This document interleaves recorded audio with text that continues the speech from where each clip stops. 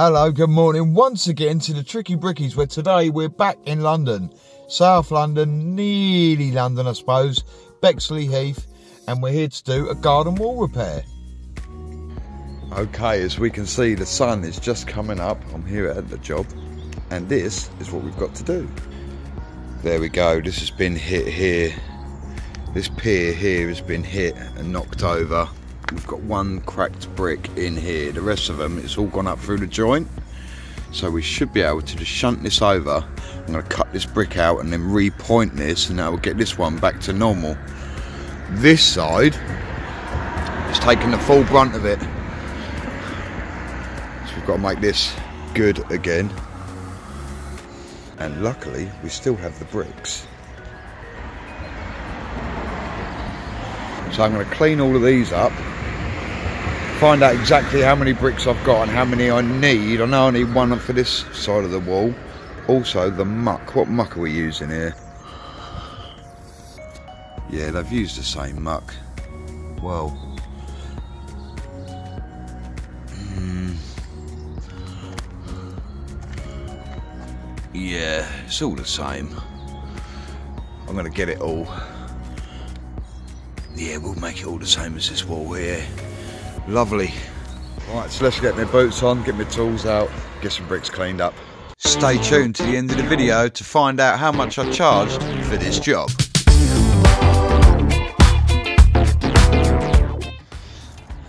Not bad at all. Cup of tea in the morning.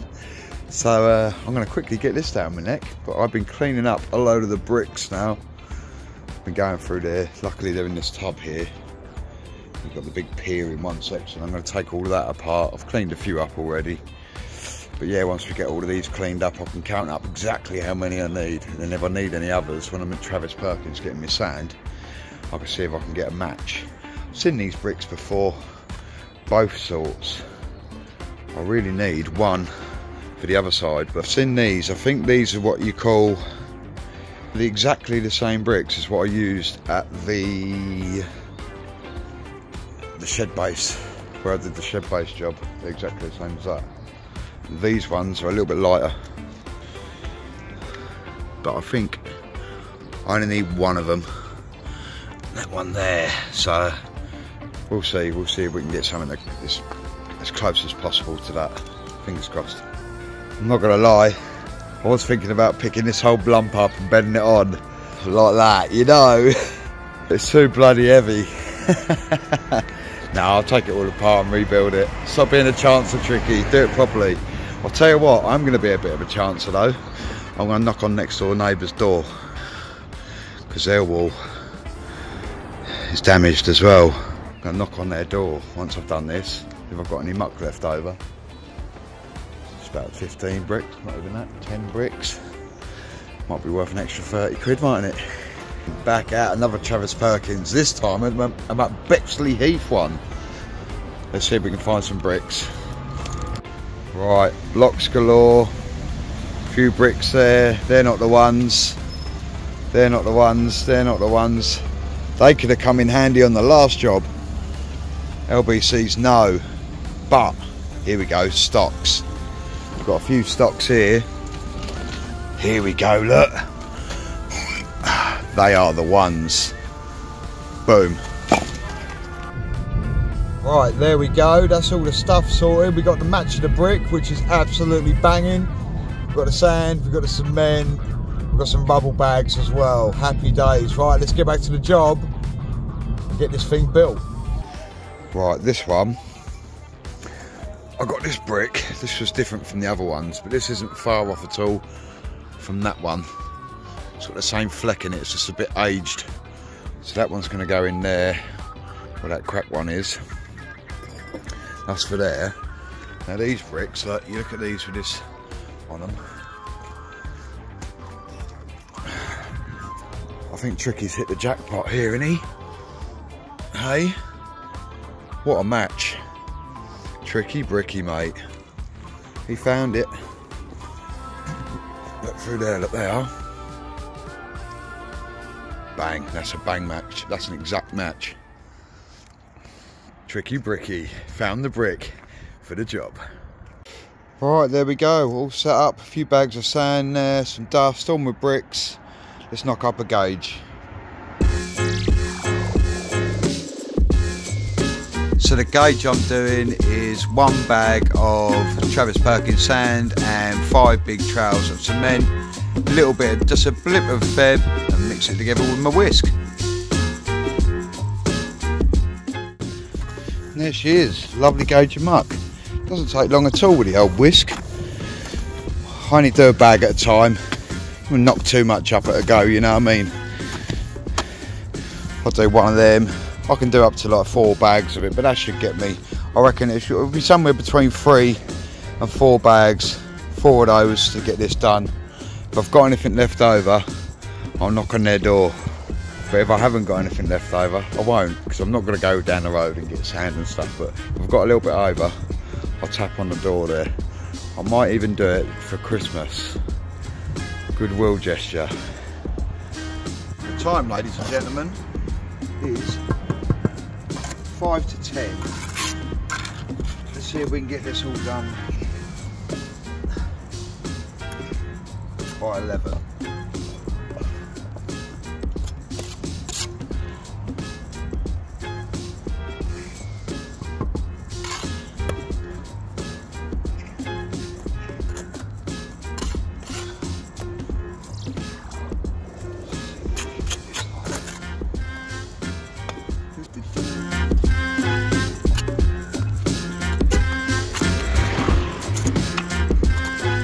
So what I'm doing here is I'm leveling my bricks one at a time, chasing them around the square, keep making sure they're upright, gauging off the existing work. Lovely old job.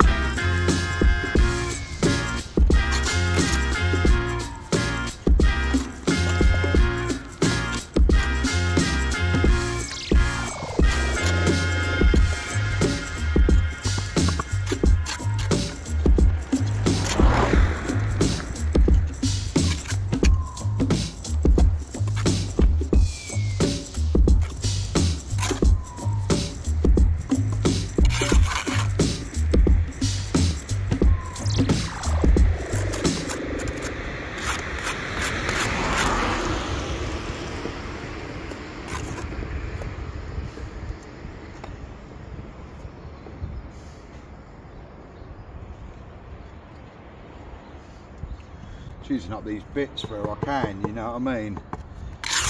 And them sections, no one's ever going to see that in there. And I've got two halves there with a good edge on it, so I might as well use it up. I think I've got enough bricks to do it falls, but I've got a load of halves here what I need to get rid of anyway. So if I can use them there, it's better. That's spring in there now bit of a spring in it. Just try it again. There we go.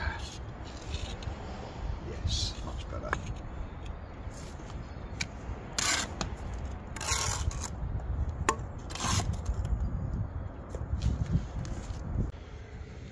Right, there's the pier, the height of the pier, that's as high as it's going.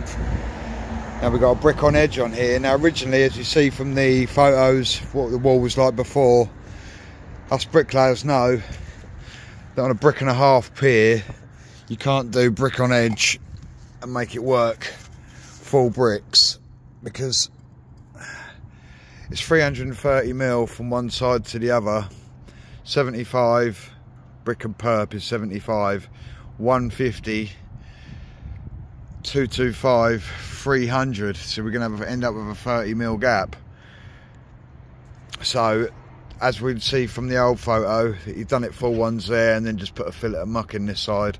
So that's what I'm going to do. In actual fact, I'm going to do four And I'm going to cut a sliver in there, run the sliver into this pier. I think that would probably look nicer than having massive great slug of slug of muck. I'll just do full brick, full brick, full brick, and then put a little sliver in there. But you can't odds it. But at least I've got something to push up to, so it's not like it's hanging on the end. It's sandwiched in between, so it's not really much you can do with it. You know what I mean? Most people on the top of brick and a halves have like pier caps. Here we go. There's a sole just run back in again. I've dotted out the top now. How I'm going to do the top look. That's how it's worked out. Looks alright, yeah. Fill them up. Point that up. And I think that'll look better. You can see what I mean now. Four bricks. It's not four or five. You can't fit five in, and if you spread it out for four, you're going to end up with perps uh, like bloody an inch an inch wide. So I think running that into there like that pointing that up is as neat as you can do, really. Lovely. Right, got my cordless drill. I'm to quickly drill this brick out, get this out, get all these perps all racked back out again and repointed. Put this brick in, replace that crack one, repoint all this up. Nice. There goes super dry look. Go on son. There we go, we've got the brick all cut out now. Just to take all this joint out of here, get in here with my saw and get all the muck out of that and we can repoint that in. Nice. Good stuff. I've noticed the sand's a lot lighter on this side. It's not white cement it's lime and mortar but I'm going to repair it with the muck I've got. Sorry my darling. So what I'm going to do to get this a bit better colour is I'm going to add a load more sand to it. What they call the game show mix. 15 to 1 but that'll lighten that right up that'll give that more that, that yellowy colour. The sand here in, in, London is really yellow so that should bring that up to a nice yellow colour. A couple more trowelfuls of sand in there. Lovely. There we go. That's a lot lighter than what that stuff is there. Look. by the time that's dried out it's quite sandy. I didn't put any less amount, amount of cement in there because it won't stick at all. But it's definitely a little shade lighter anyway so it's not going to stand out quite so much so you're looking at that now. That's dried off a bit. I don't think that's a bad match at all the the colour. I know the brick's a bit bright at the moment but it's the same textured face as the other ones. So I think after a little while a bit of mould a bit of water on it. Stands out like a cherry at the moment but that's what we've got. Right, let's fill this up with the old grout bag. I didn't see it. I never knew. Turn to the stars for clues. I called the moon. Then in my wildest dreams, there was a wave. Mm-hmm. I've definitely got my money's worth out of these grout bags. I think there were three grout bags for £12. I'll leave a link for them in the description, but they really are a really handy tool just to fill up a hole.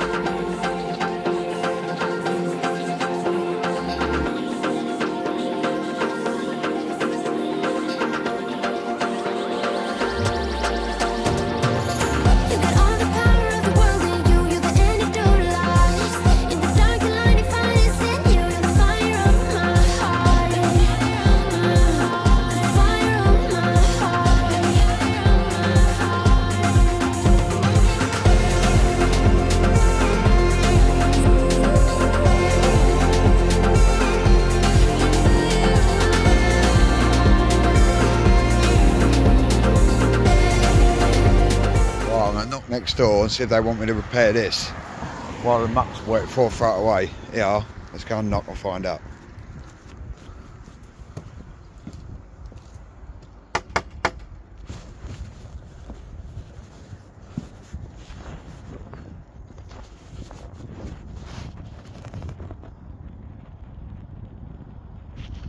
No one's answered.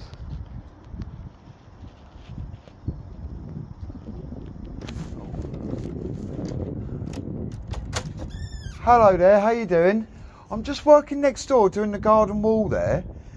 I noticed you've got a couple of bricks hanging off. Do you want me to repair that for you? No, leave it. They, no, I'm not going to charge you. I want to do it for nothing. Oh, you're joking me. Seriously, because I've got the muck there, and I'm only going to throw it in a bag and throw it away. It's perfect amount for that. Oh, bless you. I don't mind doing it at all. Do you know, I'll tell you why I said no, because they keep bloody knocking it down. Well, I'll put it back together for you, yeah. And if they, Oh. It's no problem at all. I'd rather do it than see the muck go to waste. If I'm honest, darling. Thank you so much. No worries. Oh, that's a, that's a Christmas present. Happy days, darling. No worries.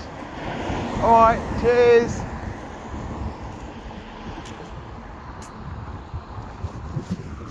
There we go.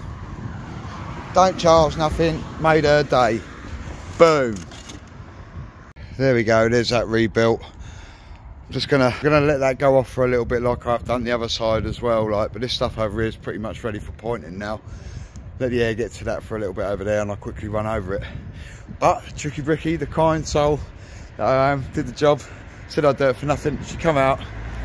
She give me cheeky 20 quid. See, it's worth it.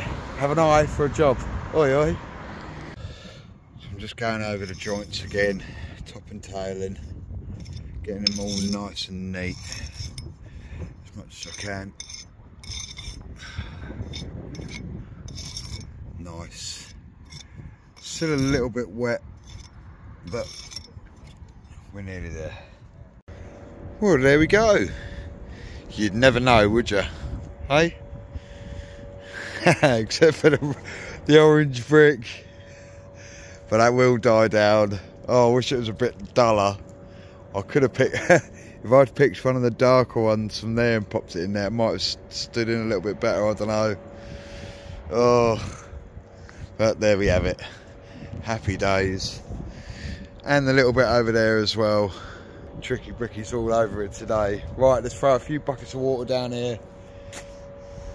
Get this all cleaned up, brushed down, then we can get home, get ready for a live show tonight. Friday night, TBE, oh yeah. Right, so there we go, ladies and gentlemen. Another happy customer, job complete. So the price I charged for this one, I think I charged it's £360 plus I made another 20 quid doing the job for next door. So £380 taken in. But what have I paid out for? ULEZ, Dartford Tunnel, 20 quid in fuel. So that's probably 40 quid for that lot. 20 quid for sand and a couple of bricks. Probably looking at total then, it's just gone one o'clock, 320 quid. 320 quid by one o'clock. Can't be bad. Anyway, guys and girls, I hope you enjoyed that episode.